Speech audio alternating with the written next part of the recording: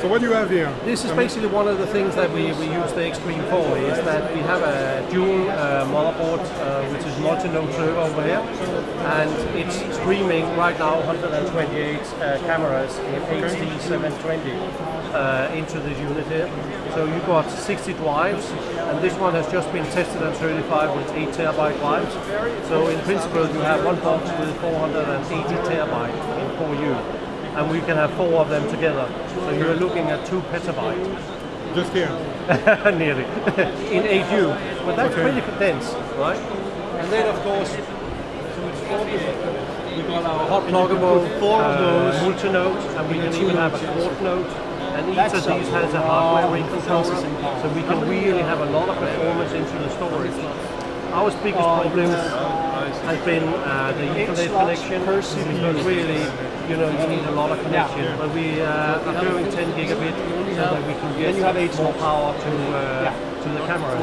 But right now, No, we wait a second, estimate no, that we can 16 stream out between 300 and 400 cameras on uh, the It's multi- uh, C620. So that's why you see the benefit of Yeah. using the Extreme generator. It's right. Well, the benefit of, looking of the Extreme design, right now is basically that it's very motherboard. difficult have- right now you to find any CPU. software or any you can- environment yeah. where you can test It can this take many cameras. amount of RAM. Because everybody wants to know how many cameras can you For real. support. For real. Not on the paper. Not on the paper.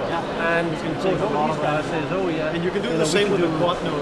It 50 cameras, 100 capacity. cameras, So but nobody can actually really so verify it. there.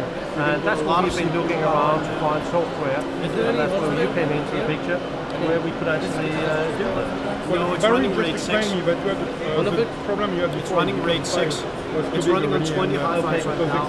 We would have it uh, running on, uh. That's Um, why when but we were doing is- 720, It's not running, no. basically on each port we were completely we didn't get the, uh, taking uh, the two gigabits ports we need for the enterprise. No, but the thing that works. Yeah. This is the you can see right interesting now thing. You know, we were running with Right now it's streaming bits 128 with, uh, cameras in high uh, definition, 128 and you can see how little it's actually doing. our one gigabit Ethernet or the It's two not gigabit Ethernet was not even trying. exaggerated completely.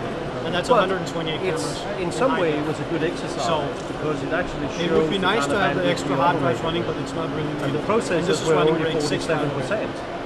And this one was So 7% it's on not it. really a whole It lot of yeah, writes 47%. on the RAID 6 Yeah, but you know the reason why is that we don't transfer so it's the a very video, we powerful just storage print system. straight away. Yeah. If you start to It can, transcode, it then, can then really take some problem punishment. comes. The Yeah. And you can Extreme is basically running on this server here. on the And then controllers. it So you streams can down to three more this. JBOD So this one acts as It a just takes SAS video recording, JBOD to JBOD. and then this one acts as, as the extreme initiator. If So you if can you talk about that. So then you have we didn't really want to run the extreme on the video recorder because we wanted Yeah. to create an environment which was as close As reality. as reality. So these ones are connected to a switch downstairs, going in there, and then recording to this. So it's, it's close enough to what you would expect.